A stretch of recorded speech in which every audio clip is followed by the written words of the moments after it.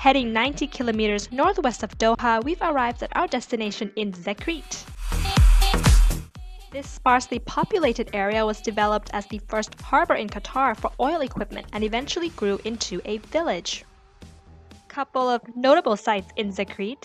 1. The Zekreet Fort 2. The Film City 3. Richard Serra's metal sculpture in the middle of the desert 4. Umbrella Rocks, and 5. The oryx, which is Qatar's national animal. Richard Serra has made his mark in Qatar with his east-west west-east metallic sculpture. These plates were shipped from Germany and craned into the middle of western Qatari desert. So the first two metal plates are actually 15 feet tall, while the last two are 18 feet tall. Why are they different in sizes? Because the land on the last, the land where the last two plates are standing is actually higher than the land on the first two plates. So they're trying to make it all the same size by increasing the height of the last two plates. He's also created another piece in Qatar called the Seven Sculpture. Now, if you haven't checked out my video on that, you can click at the link at the top of this video or at the description box below to watch.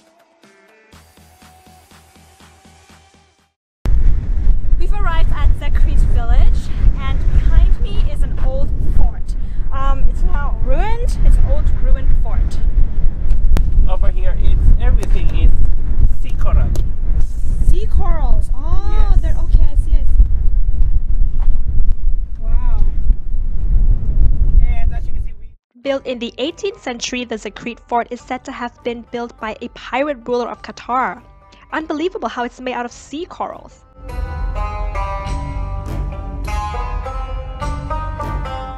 The Film City. This is considered as Qatar's very own Hollywood as it was initially constructed for an Arabic TV series, Iyal Al Dib or The Son of Wolves. It has also been featured in other films, but no information was really given as to which ones.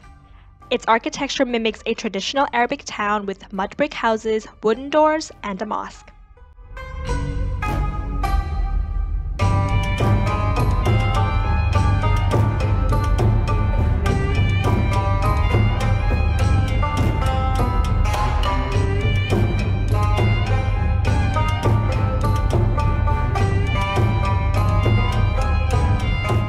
This little kind of town or village also used for filming lots of movies.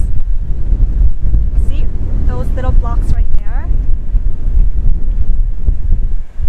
The team would, the production team would sit in there overnight and lit up fire so that they could create a sort of Arabic kind of feel and they would shoot films there overnight.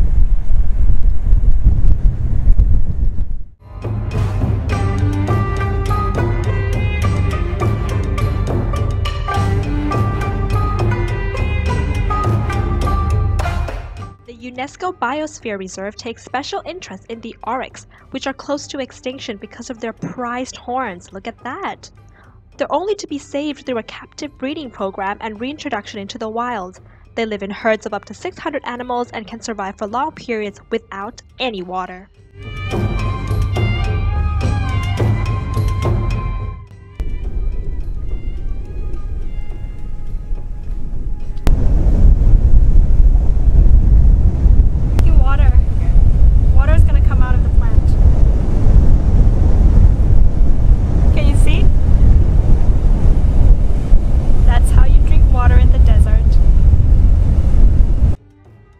Finished off our dry and blistering day indulging in Indian food.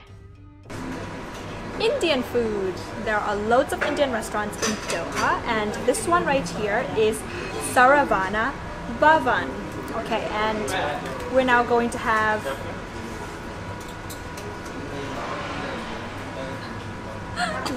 what? We're now going to have dahi vada, which is yogurt, and vada is the bread that you see at the top. It's fried bread, and there's some carrots as well.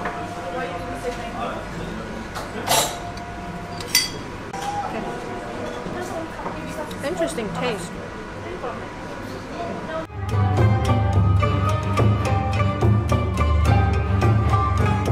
So there's cheese inside the bread, eaten with lentil soup,